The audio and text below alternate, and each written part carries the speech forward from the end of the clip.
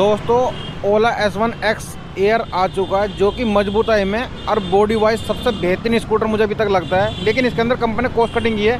ना इसमें आपको म्यूज़िक मिलेगा, ना इसमें आपको टच स्क्रीन मिलेगी, लेकिन इसके अंदर छः किलो वाट की बहुत ही हैवी ड्यूटी मोटर मिल जाती है, जो कि इससे अलावा किसी भी कंपनी के अंदर आपको इतना हैवी मोटर नहीं मिलता।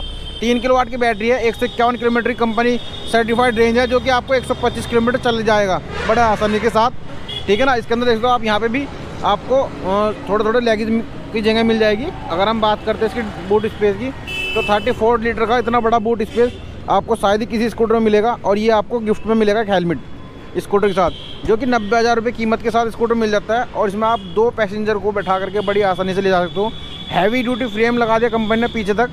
ठीक है ना? वीडियो आपको इन्फॉर्मेटिव लगी हो प्लीज़ लाइक चैनल पर प्लीज़ चैनल को सब्सक्राइब करना। Thank you